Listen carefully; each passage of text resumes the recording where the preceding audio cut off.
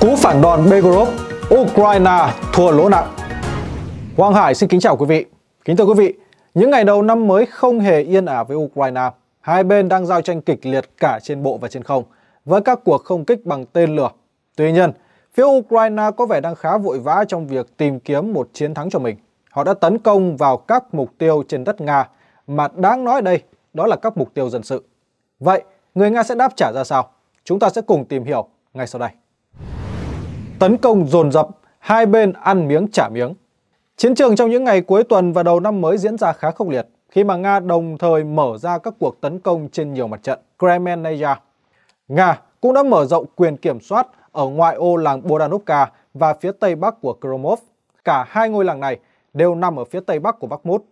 Tuy nhiên, các kênh quân sự của cả hai phía đều xác nhận Nga đang hoạt động tích cực nhất ở gần Adivka.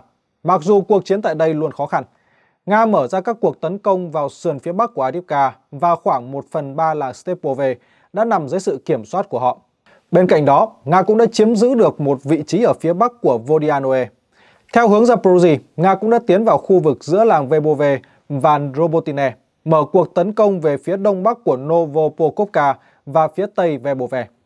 Nhưng mà trong những ngày qua, sự kiện đáng chú ý nhất chính là việc Ukraine đã phát động một cuộc tấn công tàn khốc bằng bom chùm và các loại đạn dược khác vào vùng Belgorod của Nga, khiến ít nhất 24 người bị thiệt mạng và 131 người bị. Nhưng mà có điều là Ukraine đang tấn công vào các mục tiêu dân sự ở ngay trung tâm thành phố. Đạn pháo đã rơi xuống quảng trường nhà thờ, trung tâm mua sắm, dạp chiếu phim, trường đại học, khu liên hợp thể thao. Nói cách khác, chính quyền Kiev đã bắn phá vào những nơi đông người chứ không phải là các cơ sở quân sự hoặc công nghiệp. Để đáp trả, vào đêm hôm sau Nga đã phát động cuộc tấn công vào Kharkov khiến cho nhiều tòa nhà bị hư hại, trong đó có khách sạn Kharkov Palace ở trung tâm của thành phố. Phía Nga tuyên bố địa điểm này là trụ sở bí mật của Tổng cục Tình báo Quốc phòng, là nơi mà Kiev đang lên kế hoạch để tấn công Belgorod và cũng là nơi trú ngụ của lính đánh thuê nước ngoài. Trong khi đó, phía Ukraine chính thức xác nhận có một phóng viên nước ngoài bị thương. Ngay sau đó, Ukraine đã tấn công trung tâm thành phố Donetsk, nơi đang chuẩn bị các bữa tiệc đón mừng năm mới. Chính quyền Donetsk thông báo 4 người đã chết, trong đó có một phóng viên quân sự Nga. Cùng ngày 31 tháng 12, Nga đã phóng hàng loạt UAV vào đêm giao thừa trên khắp Ukraine, nhắm vào Kiev, Zhytomyr, Chernigov, Sumy, Odessa và thành phố Lviv. Trong suốt ngày đầu năm mới thì Ukraine đã bị UAV của Nga tấn công gần như cả ngày không nghỉ. Chiến dịch tấn công bằng UAV này chỉ kết thúc vào lúc chiều tối. Bộ Tư lệnh Không quân Ukraine công bố con số kỷ lục 90 UAV Geran đã tấn công nước này ngày hôm qua. Bình luận về cuộc tấn công bằng UAV, Bộ Quốc phòng Nga tuyên bố mục tiêu là phá hủy các cơ sở hạ tầng của các sân bay Ukraine, nơi đang cất giữ các loại máy bay phóng tên lửa hành trình Storm Shadow. Cũng có thông tin cho biết một nhà máy sản xuất UAV đã bị tấn công ở Chuguev thuộc Kharkov. Nói tóm lại, chỉ trong vòng 3 ngày cuối năm, cả Nga và Ukraine đã tiến hành các cuộc tấn công leo thang nghiêm trọng. Tuy nhiên, với những diễn biến xảy ra trong vài ngày qua, giới quan sát nhận định rằng năm 2024 này, người Nga rất có thể sẽ tập trung vào việc phá hủy cơ sở hạ tầng quân sự và quốc phòng của Ukraine thay vì là hạ tầng năng lượng. Các cuộc không kích gia tăng mạnh mẽ trong những ngày gần đây cho thấy rằng lực lượng phòng không Ukraine đã không thể đánh chặn được tên lửa và máy bay không người lái của Nga, mặc dù phương Tây đã tăng cường khả năng phòng thủ cho Kiev. Do đó, các tờ báo lớn của phương Tây cũng đã đưa ra dự báo ảm đạm về điều này.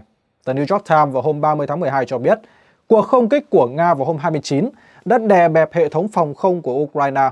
Nó cho thấy rằng Nga đã học được cách vượt qua hệ thống phòng thủ này một cách tốt nhất và thực hiện được các cuộc tấn công nghiêm trọng, gây tổn thất lớn cho quân đội của đối phương. Trong khi đó, tờ Telegraph dẫn lời các chuyên gia viết rằng phòng không Ukraine sẽ không thể đẩy lùi tất cả các cuộc tấn công vào mùa đông của Nga. Lực lượng vũ trang Ukraine sẽ phải lựa chọn những mục tiêu nào cần được bảo vệ, do họ không có đủ tên lửa đánh chặn và nguồn cung cấp của phương Tây cũng đang cạn kiệt. Còn CNN thì viết, hy vọng chiến thắng của Ukraine đang mờ dần trước sự hỗ trợ suy yếu của phương Tây và bộ máy quân sự hùng mạnh của Nga. Rõ ràng là trong những bối cảnh như vậy thì Kiev cần phải che giấu những thất bại và bất lợi của mình bằng cách tấn công sâu vào lãnh thổ của đối phương. Nhưng đồng thời, nó lại kích động Nga đáp trả bằng các đòn đánh mạnh mẽ hơn. Đánh trả mạnh mẽ, thêm một trụ sở lính NATO bị phá hủy.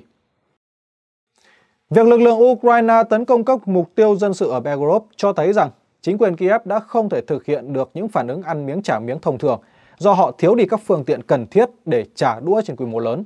Kiev đã từng tiến hành một số cuộc tấn công bằng UAV nhắm vào các căn cứ không quân nằm sâu trong lãnh thổ Nga. Nhưng sau đó, những cuộc tấn công như vậy không còn xảy ra nữa. Mà thay vào đó, tình báo Ukraine chuyển sang nhắm vào hạm đội Biển Đen. Và lần này thì họ lại cố tình chọn mục tiêu dân sự ở Belgorod. Điều này đã được Đại sứ Nga tại Liên Hợp Quốc Vasily Nebenzia xác nhận tại cuộc họp của Hội đồng Bảo an vào hôm 30 tháng 12 vừa qua, rằng các cuộc tấn công vào dân thường Nga là minh chứng cho nỗi thống khổ mà chế độ Tổng thống Zelensky đang xa lầy trong cuộc khủng bố, vô pháp luật và tham nhũng cũng như là hoài nghi. Trong cơn tức giận bất lực và tìm cách giết càng nhiều người Nga càng tốt để làm hài lòng các công chủ phương Tây của mình. Rõ ràng rằng vụ pháo kích mới nhất ở Belgorod cho thấy bộ sậu của Zelensky đang đặt kỳ vọng rằng nếu như giết càng nhiều người Nga thì sẽ càng duy trì được sự ủng hộ của công chúng trong nước. Đặc biệt, điều đó xảy ra trong bối cảnh cuộc phản công mùa hè đã thất bại, viện trợ của phương Tây thì bị cắt giảm, nội bộ sâu xé và một đợt huy động đang gây ra phẫn nộ trên toàn Ukraine. Một nguồn tin cho biết rằng chính Tổng thống Zelensky đã đích thân ra lệnh tấn công pháo kích vào Belgorod. Đơn giản là vì ông ta cần một vụ trả đũa trong khả năng của mình để khiến cho người Nga mất tinh thần trong dịp năm mới. Đồng thời, ông ta muốn ngầm gửi đi một thông điệp cảnh báo điện Kremlin rằng Ukraine sẽ có một danh sách dài các mục tiêu dân sự ở biên giới và nước này sẵn sàng tấn công bất cứ lúc nào Nga làm điều tương tự. Tuy nhiên, điều đó lại có tác dụng ngược. Những cuộc tấn công của Kiev chỉ càng củng cố thêm quyết tâm của Moscow trong việc phi quân sự hóa và phi phát xít hóa Ukraine. Đại sứ Nga tại Liên Hợp Quốc Vasily Nebensia đã ngay lập tức cáo buộc các nước phương Tây đồng lõa trong vụ tấn công này, đồng thời cảnh báo rằng những kẻ giàn dựng vụ tấn công sẽ bị trừng phạt. Ông cũng tuyên bố cứng rắn rằng Ukraine và các nước phương Tây bảo trợ họ sẽ phải đón nhận tin xấu nhất sắp tới. Ông nói như sau. Các kế hoạch quân sự của chế độ Kiev hoàn toàn thất bại. Vì vậy, hãy chờ đợi tin xấu nhất sắp tới cho mình và cả những người đang ủy quyền thông qua Ukraine, bất kể các gói hỗ trợ tài chính và quân sự mới cho Zelensky và băng đảng của ông ta có được phê duyệt ở Washington hay là Bruxelles hay không. Những điều đó sẽ chỉ làm trì hoãn sự đau đớn của chế độ ông ta, nhưng sẽ không ngăn chặn được điều đó. Rõ ràng rằng Ukraine càng tạo ra nhiều mối đe dọa thì Nga sẽ đáp trả càng gay gắt hơn. Cuộc đánh trực diện bằng tên lửa chính xác của Nga nhằm vào tòa nhà trước đây là nơi đặt khách sạn Kharkov Palace là câu trả lời ngay lập tức của Nga. Theo phía Nga thì tòa nhà này có tới 200 lính đánh thuê nước ngoài trú ngụ, đang chuẩn bị cho một đợt tấn công khủng bố xuyên biên giới khác. Tức là người Nga đã tiêu diệt những kẻ lên kế hoạch tiếp tục tấn công bè. Giới quân sự nhận định rằng vụ tấn công khách sạn Kharkov Palace nhiều khả năng sẽ ngăn chặn được kế hoạch chiếm giữ một số vùng đất Nga của Kiev. Nhưng dù vậy thì cũng không thể loại trừ việc Ukraine sẽ tiếp tục chuẩn bị các cuộc tấn công khủng bố xuyên biên giới tương tự. Và đại sứ Nga tại Liên Hợp Quốc Vasily Nebenzia cũng nói rằng Moscow ngạc nhiên trước sự im lặng của Tổng thư ký Liên Hợp Quốc Antonio Guterres trước vụ tấn công vào dân thường Nga ở Belgorod. Xét cho cùng, Ukraine càng thực hiện các cuộc tấn công nhắm vào thường dân Nga mà không có bất kỳ một lời chỉ trích nào từ phương Tây, thì các quốc gia có quan điểm trung lập trong cuộc xung đột càng có lý do để thông cảm với các mục tiêu của Nga hơn. Có thể nói rằng vụ pháo kích mới nhất vào Belgorod đã phản tác dụng đối với Kiev và các đồng minh phương Tây cũng như vậy. Tối hậu thư của Putin, liệu có thể tấn công quảng trường Kiev? Ngày đầu năm mới thì Tổng thống Putin đã đến thăm Bệnh viện Lâm sàng Trung ương quân đội Vinevsky. Không chỉ vậy, tại đây ông còn có cuộc trò chuyện với các quân nhân bị thương trong chiến dịch quân sự đặc biệt. Cuộc trò chuyện thẳng thắn với những câu hỏi liên quan tới kinh tế, quân sự của nước Nga. Tổng thống Putin đã trả lời câu hỏi của một quân nhân liên quan tới cuộc tấn công của Ukraine vào Belgorod vào hôm 30 tháng 12. Ông đã trực tiếp gọi vụ tấn công này là hành động khủng bố khi mà Kiev nhắm mục tiêu vào dân thường. Ông nói như sau, tất nhiên đây là cuộc tấn công khủng bố, chúng tôi có nên đáp trả vụ việc này hay không? Tất nhiên là chúng tôi có thể. Chúng tôi có thể tấn công vào các quảng trường ở Kiev và bất kỳ một thành phố nào khác. Có những đứa trẻ đang đi dạo ở đó, những bà mẹ đẩy xe nôi. Tôi hiểu, mọi thứ đang sôi sục đối với tôi. Tôi muốn hỏi các bạn, chúng ta có cần phải làm điều này hay không? Đáp lại câu hỏi của Tổng thống Putin, binh sĩ Nga giải thích rằng anh ta không nói về việc tấn công trả đũa vào dân thường Ukraine, mà cho rằng phía Nga cần phải đánh một đòn vào các cơ sở hạ tầng quốc phòng của Ukraine một lần. Tổng thống Putin đã trả lời rằng những cú đáp trả đang được áp dụng, rằng Nga đang tấn công bằng vũ khí có độ chính xác cao vào trụ sở nơi tập trung quân đội Ukraine và các điểm tập kết lính đánh thuê nước ngoài. Ông cũng nói, trước hết, đối với các cơ sở quân sự, chúng tôi đang thực hiện những cú đánh khá nhạy cảm các bạn sẽ sớm thấy tin tức về những vụ tấn công như vậy xuất hiện và chúng ta cũng sẽ làm điều đó vào ngày mai. Bạn biết đấy, mục đích mà Ukraine đang làm là gì? Họ muốn đe dọa chúng ta và tạo ra một số loại bất ổn cho đất nước chúng ta. Nhưng về phần mình, chúng ta sẽ gia tăng các cuộc tấn công mà tôi đã đề cập. Không còn nghi ngờ gì nữa, không một tội ác nào chống lại dân thường mà lại không bị trừng phạt. Như vậy có thể thấy rằng Tổng thống Putin đã công khai tuyên bố các cuộc tấn công vào Ukraine sẽ được tăng cường trong thời gian tới. Tổng thống Putin xua tan sương mù chiến tranh. Có thể nói rằng chiến dịch quân sự đặc biệt của Nga đang bước vào giai đoạn mới. Ông Putin đã vén màn sương mù chiến tranh và gợi ý về những gì có thể xảy ra trong tương lai trong bài phát biểu mang tính bước ngoặt tại Trung tâm Kiểm soát Quốc phòng Quốc gia vào hôm 19 tháng 12. Nga đã chiếm thế thượng phong trong cuộc chiến ủy nhiệm của NATO ở Ukraine. Đối với ông Putin, đây là thời điểm chiến thắng mà ông không có lý do gì để che giấu sự thật tại Ukraine. Trong khi đó, đối với Tổng thống Biden thì sương mù chiến tranh tiếp tục sẽ là công cụ hữu ích để che đậy cho cuộc bầu cử quan trọng sắp tới, nơi mà ông đang tìm kiếm nhiệm kỳ thứ hai. Trong bài phát biểu của ông Putin toát lên một tâm trạng phấn chấn. Nền kinh tế nước Nga không chỉ lấy lại đà tăng trưởng trước năm 2022 mà còn đang tăng tốc hướng tới cột mốc 3,5% vào cuối năm 2023. Nó được đánh dấu bằng thu nhập và sức mua của hàng triệu người, cũng như mức sống ngày càng tăng.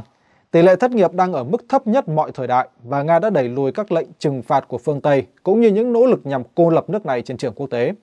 Ông ấy nhấn mạnh đây là cuộc chiến mà Nga chưa bao giờ mong muốn tham gia nhưng đã bị NATO kích động. Trọng tâm của vấn đề đó là phương Tây từ lâu đã coi Ukraine là một dự án địa chính trị để nhắm vào Nga. Ngày nay, ngay cả khi thất bại đang hiện rõ không thể chối cãi, ưu tiên của phương Tây là buộc Nga phải đồng ý ngừng bắn mà không có bất kỳ một nghĩa vụ địa chính trị hoặc chiến lược đảm bảo nào từ NATO. Điều này có nghĩa là phương Tây để ngỏ cánh cửa tái vũ trang cho quân đội Ukraine đã kiệt sức bằng cách biến họ thành đội quân không chính thức của NATO. Nhưng mà Nga sẽ không rơi vào cái bẫy của phương Tây lần thứ hai. Không có gì đáng ngạc nhiên khi trong bài phát biểu của mình, ông Putin đặc biệt nhấn mạnh đến việc thúc đẩy ngành công nghiệp quốc phòng Nga nhằm đáp ứng bất kỳ một yêu cầu cấp bách nào về quân sự có thể phát sinh.